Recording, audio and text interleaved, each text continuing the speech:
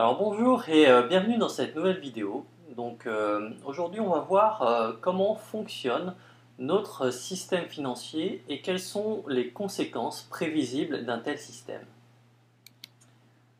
Alors on va voir que ce système malheureusement va conduire probablement, même certainement, à la ruine de la majorité mais que si on commence à bien comprendre les systèmes, eh bien, il y a des opportunités, euh, non seulement de protéger son patrimoine, mais également de s'enrichir euh, grâce à ce système euh, qui est assez pernicieux, on va le voir.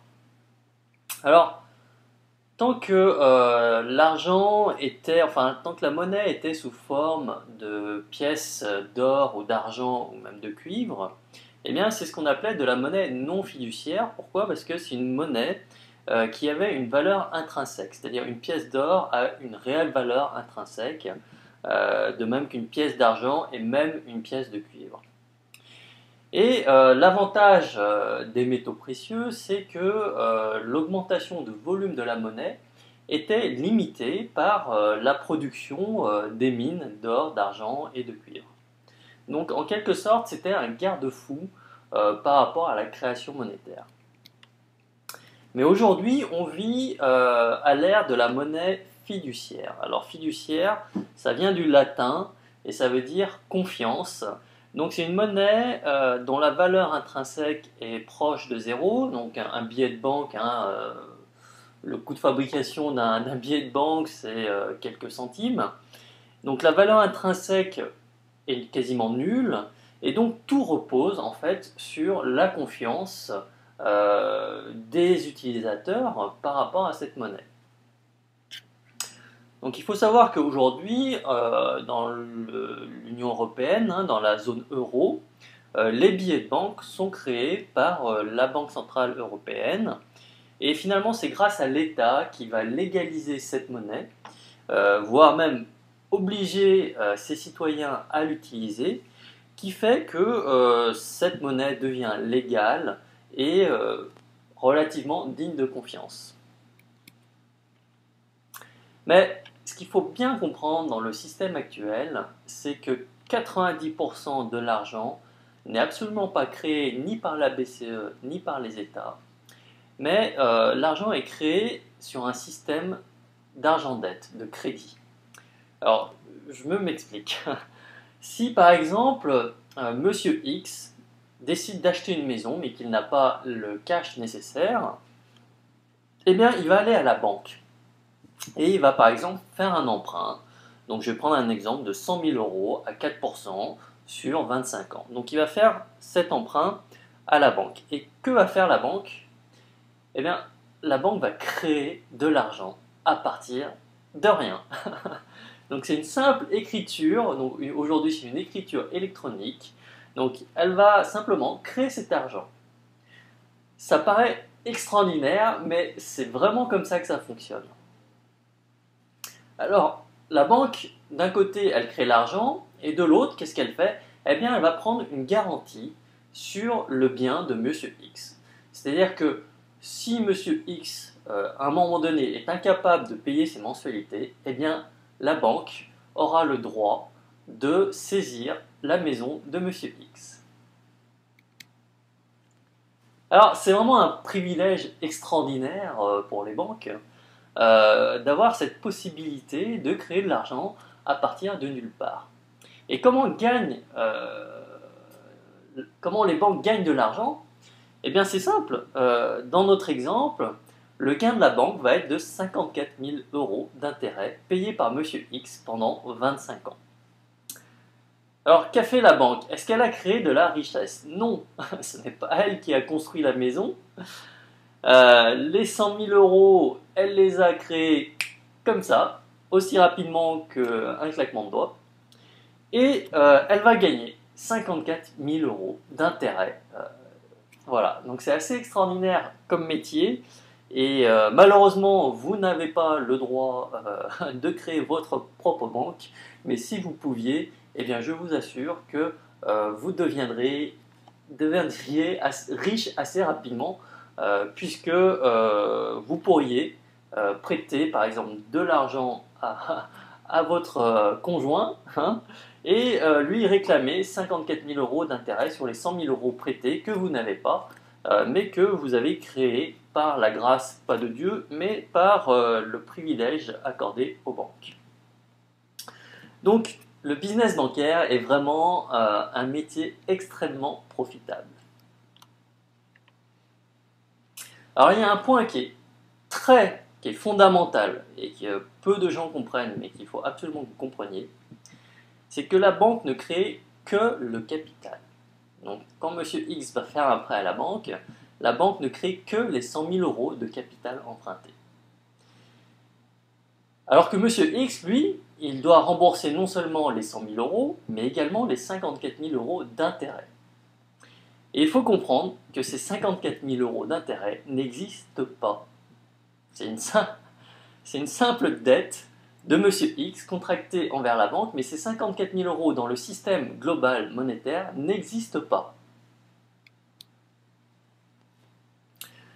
Donc si on regarde ça d'un point de vue global, 90% de l'argent est créé de cette manière, c'est-à-dire que ce sont les agents économiques qui s'endettent auprès des banques les banques créent l'argent à partir de rien, mais euh, l'agent économique qui s'endette eh doit lui payer non seulement le capital, donc ça il va le rembourser à la banque et la banque va détruire l'argent, mais il doit également payer les intérêts sur ce capital emprunté. Et ces intérêts n'existent pas.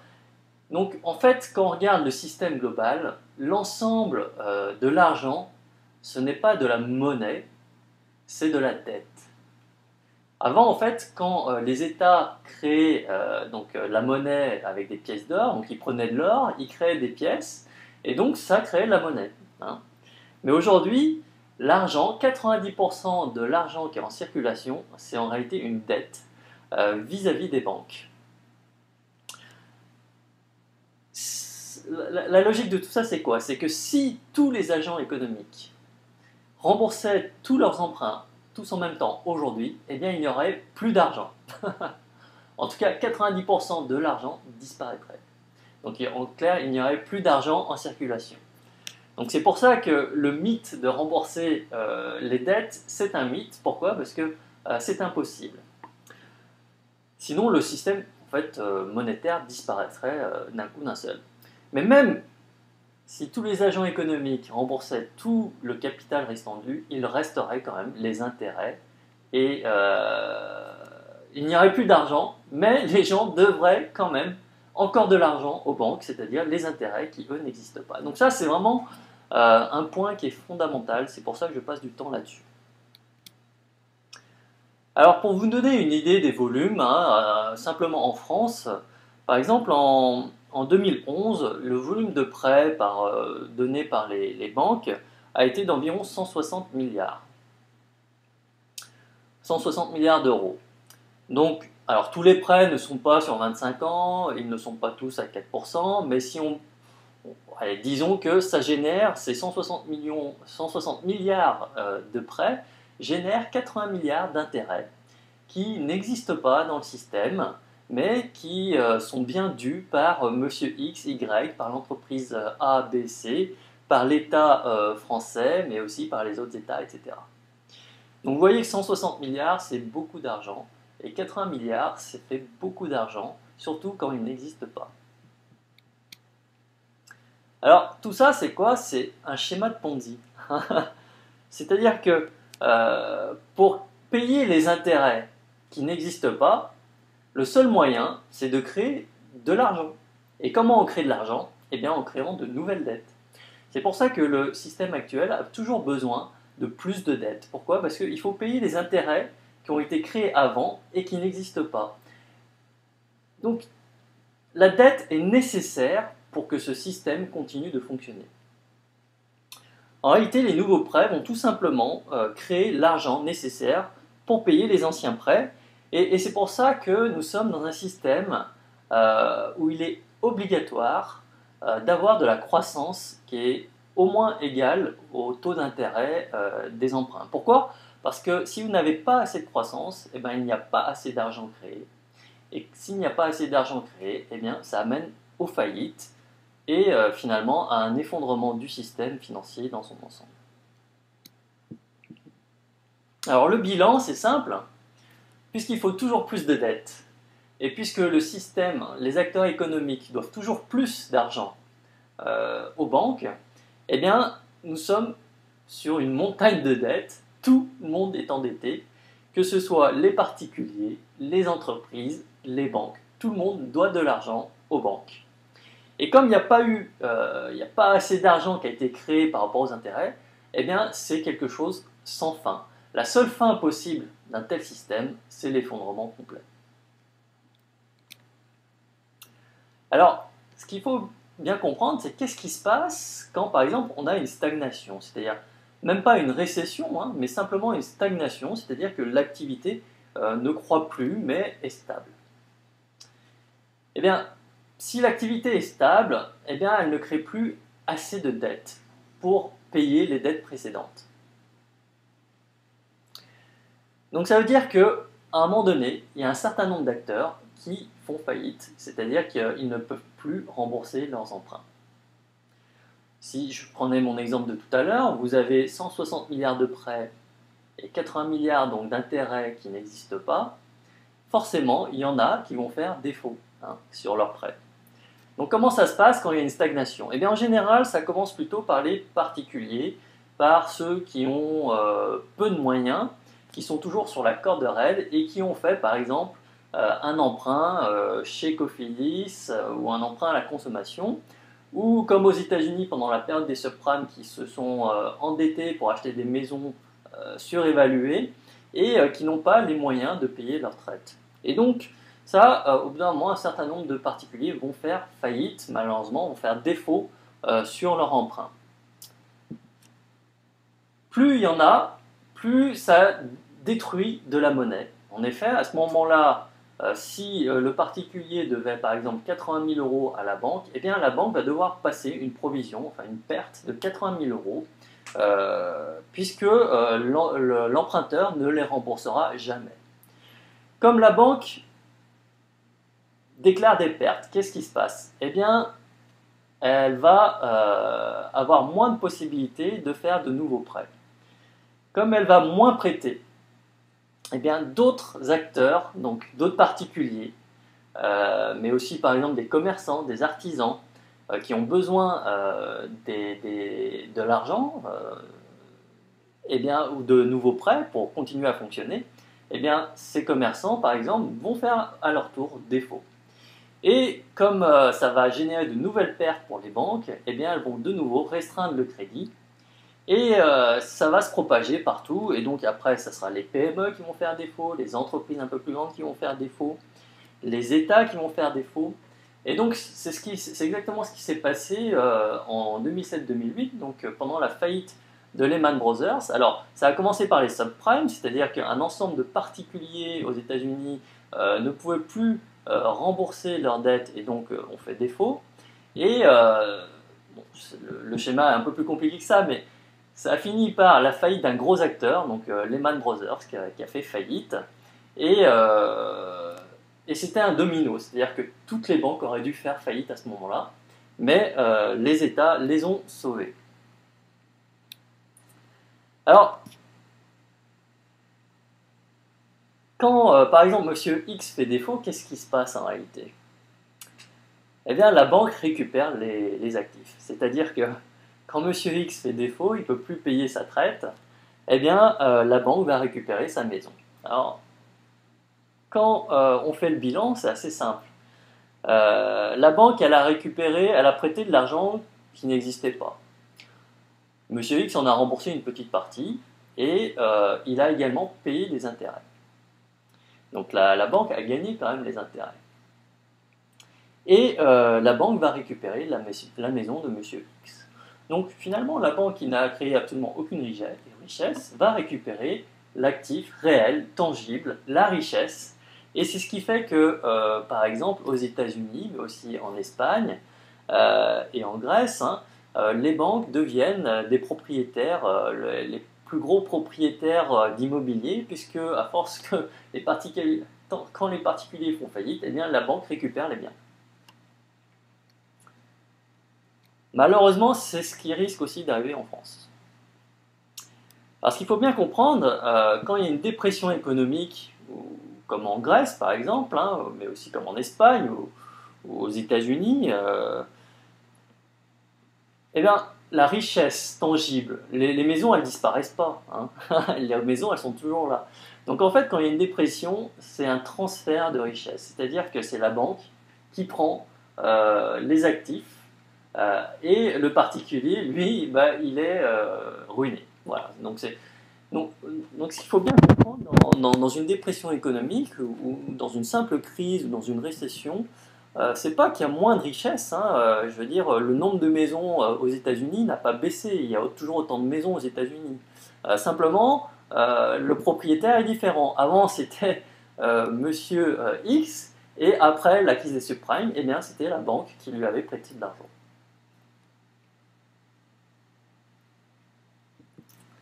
Alors, les banques ne se contentent pas de récupérer l'immobilier, hein, parce qu'il n'y a pas que les particuliers qui font euh, faillite, euh, il y a également les entreprises qui font faillite.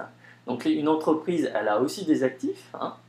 et euh, il y a également les États, et c'est ce qui est en train de se passer en Grèce, par exemple. L'État est propriétaire d'un certain nombre de biens, d'infrastructures, d'aéroports, de ports. et comme l'État grec euh, il, est en faillite. Hein. donc l'État grec est en, faillite. Donc qu'est-ce qu'il fait? Euh, Il est obligé de vendre les bijoux de famille euh, pour pouvoir récupérer de l'argent et payer ses dettes aux banquiers. Et donc, eh les États aussi finissent par vendre les bijoux de famille. Et donc, les, multinationales et les banquiers récupèrent tout ça. Alors en France, c'est également le cas, hein, euh, vu que l'État est en déficit depuis 1973, euh, eh bien, euh, il y a eu un certain nombre de privatisations, on pense notamment aux autoroutes. Donc il faut rappeler que les autoroutes ont donc été financées par vos impôts ou les impôts de vos parents ou grands-parents, donc par le contribuable. Et une fois qu'elles ont été construites, eh bien l'État surendetté les a vendues a vendu en tout cas les concessions. Et euh, donc les profits vont aller dans la pocket euh, de euh, certaines multinationales. Voilà. Alors c'est pour ça que il faut bien comprendre que les banques aiment aussi non seulement la guerre, mais aussi aiment les dépressions parce que c'est vraiment une période où elles récupèrent un certain nombre de richesses comme ça. Donc c'est ce qui s'est passé par exemple en 1929. Hein. en 1929, la vraie histoire, c'est que euh, la Federal Reserve euh, a complètement contracté euh, le crédit. donc la, quantité monétaire, la masse monétaire américaine s'est contractée de 1 tiers, de 33%. Et donc tout le monde a fait faillite en gros. Et comme les initiés, donc les JP Morgan, les Rockefeller, etc., ce sont eux qui contrôlent la Fed, et donc ils étaient préparés, c'est-à-dire qu'ils avaient vendu ils avaient vendu toutes leurs actions, euh, ils avaient acheté euh, de l'or et gardé du cash, ils ont attendu que tout s'écroule, et ça leur a permis de récupérer, euh, de racheter leurs concurrents, les petites banques. voilà, donc c'était un, un, transfert de richesse. Donc il faut bien comprendre qu'une dépression économique, c'est pas perdu pour tout le monde, c'est juste un transfert de richesse d'un certain nombre d'acteurs vers les autres. Alors, l'autre avantage des, dépressions et des récessions, c'est euh, bah, que les États sont dans la panade, ils sont surendettés comme aujourd'hui. Et donc la solution, hein, euh, au bout d'un moment, c'est quoi la solution? C'est euh, soit d'augmenter les impôts, soit d'augmenter les impôts. donc c'est ce qui se passe en ce moment. Donc, euh, c'est ce que j'appelle un racket fiscal. Comme euh, l'État est surendetté depuis 1973 et que euh, sa dette ne fait que augmenter, et eh bien, au bout d'un moment, il faut trouver de l'argent et les États, ils font le sale boulot, c'est-à-dire qu'ils vont racketter leurs citoyens, leurs contribuables. Le deuxième racket, qui est beaucoup moins visible, c'est le racket monétaire. C'est-à-dire, ça consiste à créer de l'argent à partir de rien. Euh, donc c'est ce que fait euh, notamment la Federal Reserve aux États-Unis, mais c'est ce que commence à faire également la Banque Centrale Européenne. donc quand vous, si par exemple vous avez un milliard en circulation et que vous créez un autre milliard, eh bien ça veut dire que le milliard ne vaut plus que la moitié. Donc ça veut dire que vos euros ne valent plus que la moitié. En fait, un euro vaut toujours un euro, mais là où avant vous pouviez acheter un croissant avec un euro, eh bien, euh, après l'inflation euh, et la dévaluation monétaire, il vous faudra 2 euros pour acheter le même croissant. Donc ça, c'est un racket qui est beaucoup plus pernicieux parce qu'il euh, est beaucoup moins visible. Donc les gens le sentent. Euh, donc, euh, quand on parle d'inflation, par exemple, à, 2%, euh, c'est complètement faux, évidemment. la vraie inflation, elle est plutôt à 4, 4,5%. Finalement, les gens, ils ne la voient pas parce que, allez, disons que l'inflation est à, 5%. votre croissant qui valait 1 euro, dans un an, il vaudra 1,05 euros. Donc les gens, ils voient bien que ça augmente, mais bon, ça passe. Hein. Euh, mais 5% euh, par an, c'est quoi? C'est une courbe exponentielle. Hein. Donc euh, quand vous faites 5% par an, vous faites le calcul, et eh bien au bout de 15 ans, vos prix ont doublé. Alors, on assiste en ce moment à une perte de pouvoir des États, puisque les États sont complètement surendettés eh bien, ils dépendent totalement de leurs créanciers et donc des banques. Euh, et c'est ce qui se passe par exemple en Grèce. Hein. En Grèce, l'État est surendetté, il est en faillite, et donc euh, si on ne lui prête pas euh, quelques milliards tous les trois mois, eh bien, il est totalement en faillite. Et donc ça, c'est assez pratique parce que euh, quand l'État est en faillite, il n'a pas vraiment le choix. C'est comme un, ménage surendetté, on ne lui donne pas le choix euh, de s'en sortir. On lui dit, bah voilà ce qu'il faut faire. Il faut vendre les bijoux de famille.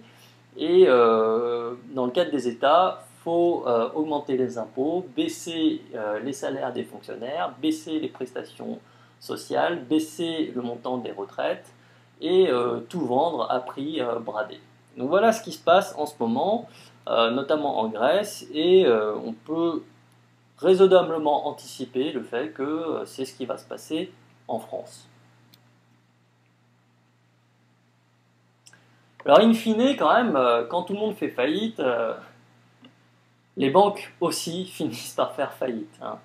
C'est ce qui se passe en ce moment en France. Hein. Si vous suivez l'actualité, le Crédit Immobilier de France a fait faillite. Mais euh, quand les banques font faillite, qu'est-ce qui se passe? Eh bien, si on la laisse faire faillite, eh bien, ça veut dire que toutes les autres banques vont faire faillite. Hein.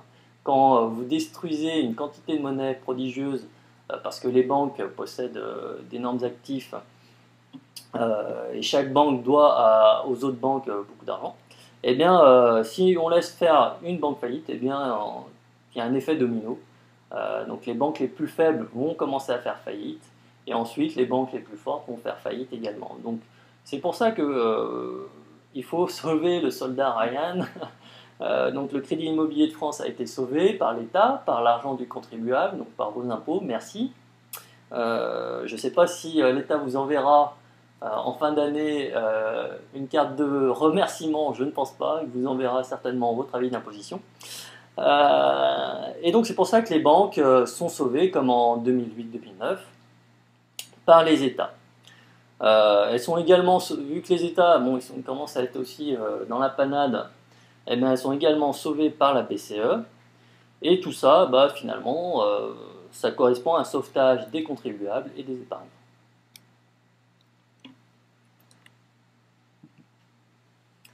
Alors, on parle beaucoup d'inflation et de déflation. Il faut bien comprendre qu'aujourd'hui, on a les deux. Euh, d'un point de vue nominal, on a de l'inflation. Pourquoi? Parce que euh, on a de la création monétaire, donc il suffit de regarder euh, la masse monétaire globale pour voir qu'il y a plus d'argent dans le système. Donc ça, ça génère de l'inflation. Quand on crée de la monnaie, ça fait perdre la valeur de la monnaie et ça génère l'inflation des prix. Mais en même temps, on a euh, vu que l'économie ralentit, et voire même est en récession, voire en dépression, eh bien, on a également un certain nombre de faillites et de destructions monétaires. Et euh, pour éviter que tout le système euh, s'écroule, eh bien, qu'est-ce qui se passe? Eh on crée de nouveau de l'argent via la Banque Centrale Européenne, via les États, et donc ça génère encore plus de création monétaire. Donc même quand on a de la destruction de monnaie, on a euh, comme euh, conséquence la création de nouvelles monnaies pour éviter que tout s'écroule. Et tout cela va mal finir, euh, probablement va finir en hyperinflation. Les Français ne connaissent pas vraiment ce que c'est l'hyperinflation. En Europe, il n'y a que les Allemands qui semblent s'en souvenir. et l'hyperinflation, on ne va pas en discuter aujourd'hui parce que ce n'est pas encore le cas aujourd'hui, mais c'est également tout simplement un transfert de richesse euh, vers ceux des épargnants, vers, euh, vers ceux qui sont proches du robinet, on va dire, euh, de liquidité. Alors le constat aujourd'hui, c'est que les caisses sont vides, tout le monde est endetté, les États sont surendettés, les caisses de retraite sont vides, les caisses de la sécurité sociale sont vides depuis longtemps et donc l'État est obligé de s'endetter simplement pour pour faire fonctionner la sécurité sociale. De l'autre côté, donc on a euh, la mondialisation qui génère donc euh, du chômage, c'est-à-dire que quand euh, il n'y a plus de droits de douane, eh bien forcément les entreprises ont tendance à délocaliser leur production dans des pays à bas coût, hein, ça c'est la logique évidente. et donc le chômage, il profite à qui? Ben, Il profite surtout aux entreprises, aux multinationales, et euh, ça permet euh, de mettre la pression sur les salariés et surtout d'éviter d'augmenter leur salaire. Et donc c'est pour ça que euh, c'est extrêmement difficile en tant que salarié d'augmenter son salaire parce que tout est fait pour que les salaires stagnent. Donc on a une stagnation des revenus, on a une baisse de l'épargne parce que les revenus stagnent et les prix augmentent. Et globalement, on a une baisse du pouvoir d'achat euh, des ménages. Alors si avec ça, maintenant, il y a également euh, un aspect démographique qui est, euh, qui est extrêmement important et qui est pourtant peu pris en compte. pourtant, la démographie, c'est vraiment l'avantage, c'est qu'on sait à l'avance ce qui va se passer. Donc il faut comprendre que on a eu le baby boom, donc de 45 à en gros 75, et euh, donc, euh, on voit sur cette pyramide hein, que euh, le baby boom, bah, c'est la partie qui est, plus large que, le reste. Et donc, les premiers baby boomers, donc, qui sont nés en 45 et donc qui ont aujourd'hui 67 ans, 67, 68 ans, eh bien, partent à la retraite et euh, il faut bien comprendre que quand quelqu'un part à la retraite, il a tendance à consommer beaucoup moins. Hein. C'est comme ça. Euh, et également, euh, ce qu'il faut bien comprendre, c'est qu'à partir de 70 ans environ, les dépenses de santé augmentent de manière exponentielle. Et qui dit dépenses de santé, ça veut dire que le baby boomer qui commence à plus être en bonne santé, eh bien, il va retirer euh, il, va, avoir besoin d'argent. Donc qu'est-ce qu'il va faire? Il va vendre ses actifs. Et ses actifs, c'est quoi? C'est l'immobilier, la bourse, les assurances vie. Donc, euh, quand euh, les premiers baby boomers commencent à vendre, bon, c'est pas très gênant. Hein, il y a toujours encore un, noyau dur de, gens, d'actifs, hein, de 40 à 60 ans, qui achètent. Mais plus le mouvement va s'accélérer, et vous voyez bien qu'il n'y a pas assez de jeunes pour racheter euh, les actifs des baby boomers et qui vont devenir des papy boomers. Donc ça, c'est euh, une épée de Damoclès sur l'ensemble des actifs qui sont détenus par les baby boomers et donc sur l'immobilier, la bourse, les assurances vie. C'est inquiétant et c'est pour ça que, en termes de bourse, je vous le déconseille fortement. c'est pour ça que l'immobilier commence à vaciller et c'est pour ça que les assurances vie euh, commencent à plus être euh, aussi sûres qu'avant. Alors, si on résume la situation globale, les monnaies perdent de la valeur, on a une inflation au niveau des prix parce qu'il y a une création monétaire, on a une déflation des, actifs. Alors quand je parle de déflation, c'est la déflation au niveau réel. Euh, on a une inflation nominale hein, du prix parce qu'il y a de plus en plus d'argent qui est créé, mais en termes réels, la valeur des actifs baisse.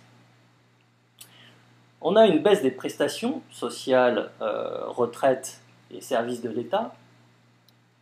Et donc, d'un point de vue individuel, on a une baisse du pouvoir d'achat, on a une baisse du pouvoir d'achat de l'épargne, et ce qui est certain également, c'est que euh, les retraites sont largement insuffisantes pour vivre.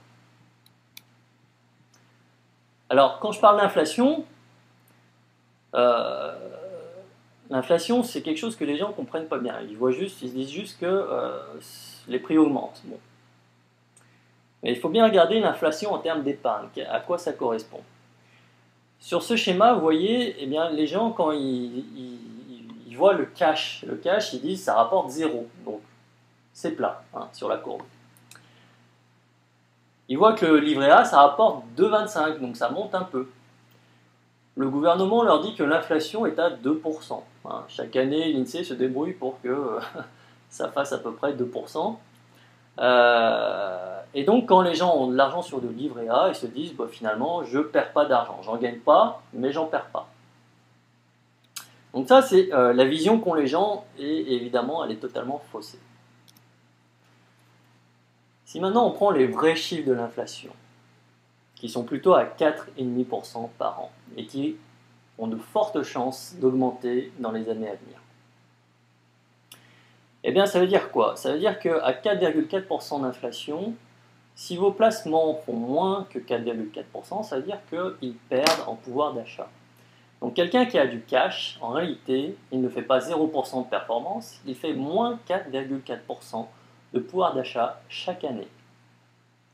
Et comme euh, les intérêts composés, c'est magique, mais c'est magique dans les deux sens, eh bien ça veut dire que euh, au bout de 15 ans, en gros, euh, le cash a perdu la moitié de son pouvoir d'achat. Donc ce sont des données vérifiables. nous sommes il suffit de, voir 15 ans en arrière, qu'est-ce que vous pouviez acheter 15 ans en arrière avec par exemple 100 francs hein?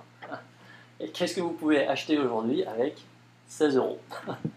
Eh bien, vous verrez qu'avec 100 francs, euh, on achetait il y a 15 ans deux fois plus de choses, et deux fois plus, je suis vraiment gentil, euh, qu'aujourd'hui. Donc ça, c'est la réalité euh, de l'inflation. Et donc c'est pour ça que je dis souvent dans, un certain nombre d'articles que le livret A c'est un moyen sûr, et un moyen sûr de s'appauvrir. Euh, c'est tout simplement que quand vous avez votre livret A qui est à 2,25% et que vous avez l'inflation qui est à 4,5%, eh bien vous perdez 2,25% de pouvoir d'achat chaque année. Donc encore une fois, 2,25% sur un an, c'est pas beaucoup. Mais euh, au bout euh, de 15 ans, ça fait euh, à peu près 20 à 25% de perte de pouvoir d'achat. Donc vous me direz, ça reste raisonnable. Mais si vous avez bien compris où on en est aujourd'hui au niveau de l'inflation, on est plutôt sur une courbe exponentielle et on s'approche dangereusement de la partie verticale. Et les chances sont malheureusement grandes et inéluctables que euh, l'inflation euh, s'accélère et euh, augmente. Et donc ça a un impact aussi sur les retraites. Pourquoi? Parce que il faut bien comprendre que les retraités, le, montant des pensions est indexé sur l'inflation publiée par l'INSEE. Donc c'est pour ça que l'État a tout intérêt à minimiser le chiffre officiel de l'inflation parce que euh, un certain nombre des prestations d'État, dont les retraites, sont indexées sur euh, le chiffre officiel de l'inflation. Et euh, le problème, c'est que si le coût réel de la vie augmente chaque année plutôt de 4,5% que de 2%, eh bien, ça veut dire que petit à petit, les retraités perdent euh, du pouvoir d'achat. C'est-à-dire que leur pension de retraite leur permet euh, d'acheter de moins en moins de choses. Et euh, donc, ça touche évidemment les retraites les plus modestes aujourd'hui, c'est-à-dire qu'il y a des retraites, par exemple, qui sont d'un montant, je ne sais pas, de, de 500 ou 600 euros par mois. Et euh, aujourd'hui, donc à l'époque, il y a 20, 30 ou 40 ans, avec 500 ou 600 euros par mois, vous pouviez vivre correctement. Aujourd'hui, avec 500 ou 600 euros par mois, euh, il n'y a que les étudiants qui arrivent. Donc, euh, donc ça, c'est un vrai problème. Et donc là, sur cette courbe, on voit que les revenus, donc à l'âge de la retraite, il y a une grosse chute. Hein. donc plus le temps va passer, plus les caisses de retraite vont être vides, plus la chute va être sévère. Et de l'autre côté, vous avez une augmentation continue et qui s'accélère du coût de la vie. Et donc c'est ce qui fait que euh, va y avoir un, gros problème pour les retraités euh, qui euh, auront des revenus inférieurs tout simplement au coût de la vie. Et donc ces retraités, ils vont devoir vendre, pour ceux qui en ont, hein, ceux qui n'ont pas d'actifs, ben, c'est le système D, le RSA, etc. Et ceux qui ont des actifs, qu'est-ce qu'ils vont faire? Eh bien, ils vont devoir les vendre, tout simplement. Alors l'avenir du système, si vous avez bien compris le fait qu'il n'y a pas assez d'argent euh, créé parce que les intérêts euh, des dettes n'existent pas, donc il y a un déficit structurel euh, d'argent, eh bien, un tel système ne peut finir que d'une seule façon, un effondrement total du système. C'est ce qui s'est passé en Chine, c'est ce qui s'est passé en Angleterre, c'est ce qui est en train de se passer aux États-Unis et c'est ce qui se passera en Europe également. Donc nous aurons des faillites d'État, on les a déjà, des faillites bancaires, nous aurons euh, évidemment de la création monétaire à outrance, donc euh, pour éviter, euh, pour retarder je dirais l'échéance, eh on va imprimer de plus en plus de monnaie, et donc plus on imprime de monnaie et plus la monnaie perd de sa valeur. Donc la vraie question c'est pas de savoir si le système va s'effondrer, il va s'effondrer, la vraie question c'est de savoir quand. Évidemment, personne n'a la réponse. Euh, moi, je ne suis pas devin, personne n'est devin. On ne sait pas quand le système va s'effondrer, euh, mais on sait qu'il s'effondrera. Donc, la, vraie question qu'il faut se poser aujourd'hui, et que vous vous posez sans doute si vous regardez cette vidéo, c'est qu'est-ce qu'il faut faire d'ici là hein? Qu'est-ce qu'il faut faire entre aujourd'hui et le moment où le système s'effondre? Donc, quand le système s'effondre, euh, on revient à l'âge de pierre, et, donc c'est le système D. Hein. Euh, mais euh, voilà, entre aujourd'hui et le moment où le système va s'effondrer, il va s'écouler peut-être euh, des années, peut-être même des décennies, hein, qui sait? et donc la question c'est qu'est-ce qu'il faut faire pendant ce temps-là? Alors, je peux déjà vous donner la réponse, c'est que la, la très grande majorité des gens ne vont rien faire. C'est-à-dire qu'ils vont faire exactement ce qu'ils ont fait ces 5, 10, 15, 20 dernières années. Ils vont faire exactement la même chose en espérant que euh, ça continue à peu près euh, comme ça, ça a fonctionné jusqu'à présent. Comme ils vont rien faire, qu'est-ce qui va se passer? Eh bien, ils vont subir le racket fiscal et monétaire, euh, ils vont subir l'appauvrissement, et ils finiront ruinés, comme euh, la grande majorité des gens ont été ruinés sous, euh, par exemple, la République de Weimar, en, Allemagne, dans les années euh, entre les deux guerres, comme l'Argentine, la Russie en 98, hein, pendant leur effondrement, comme la Grèce en ce moment même, et comme l'Espagne, ils sont là, ils sont au bord de la falaise, et les États-Unis aussi. Alors les États-Unis évidemment, les, médias anglo-saxons euh, déforment totalement la réalité, mais il faut bien comprendre qu'aux États-Unis, euh, il y a de plus en plus euh, de gens qui ne vivent que grâce aux food stamps, hein, donc les, bons alimentaires. Je ne, sais, plus quels sont les chiffres, mais je crois que c'est 50 millions de personnes sur une population de 200 et quelques millions. Donc ça fait quand même beaucoup de gens qui vont. c'est comme si vous aviez un quart de la population française qui allait manger au resto du cœur. Donc voilà. Alors, les Chinois euh, ont un signe euh, dans, leur, dans leur idéogramme sur la crise, euh, il y a aussi opportunité. Donc, c'est la bonne nouvelle, c'est que dans toute crise, il y a des opportunités. C'est-à-dire que faut bien comprendre que dans, dans, la crise qui est en train de, se passer, il n'y aura pas de juste milieu, il n'y aura pas une classe moyenne, il n'y aura pas de gens qui, qui vont s'en sortir normalement. Il y, aura deux camps. Il y aura la grosse majorité donc, qui va se faire ruiner, et il y aura la toute petite minorité qui va s'enrichir. Et pour, pour savoir ce qu'il faut faire, pour savoir comment s'enrichir, eh il faut déjà bien comprendre le système. Donc j'espère que la vidéo que je vous ai présentée, les vidéos que je vous ai présentées avant, euh, vous aide aujourd'hui à mieux comprendre le système et à voir euh, vers quoi, en tout cas, on s'oriente. Alors, pour apporter des réponses euh, à ces questions, savoir qu'est-ce qu'il faut faire aujourd'hui pour ne pas faire partie des, des, ruinés et des pigeons, mais faire partie des gens qui vont au moins bien s'en sortir, voire même s'enrichir, eh bien j'ai créé une formation, c'est la formation Investisseur Pro, et dans cette formation, euh, donc je vais vous la présenter dans une prochaine vidéo vraiment en détail. Mais les grandes lignes, c'est quoi? Euh, comprendre exactement le système aujourd'hui. Donc on ira beaucoup plus loin que ce que je vous ai présenté aujourd'hui. Euh, ça va permettre d'anticiper l'avenir et de savoir qu'est-ce qu'il faut faire, comment placer son argent, quelles opérations sélectionner aujourd'hui pour euh, pouvoir profiter euh, finalement, euh, pas profiter de la crise, mais, mais s'enrichir pendant cette période de crise. Une deuxième partie, ça sera vraiment d'apprendre à gérer son patrimoine de manière autonome, comme un professionnel. donc on verra l'ensemble des placements aujourd'hui, donc l'immobilier, les assurances vie, les métaux précieux, les CPI, les pertes, les produits de retraite, les assurances vie, etc. Donc on verra chaque produit et on verra quel est l'impact aujourd'hui euh, du système euh, sur l'avenir de ces produits. Est-ce qu'il faut les souscrire ou pas Donc ça, ça, permettra donc, euh, aux gens qui vont suivre la formation de devenir vraiment autonomes dans leur gestion de patrimoine.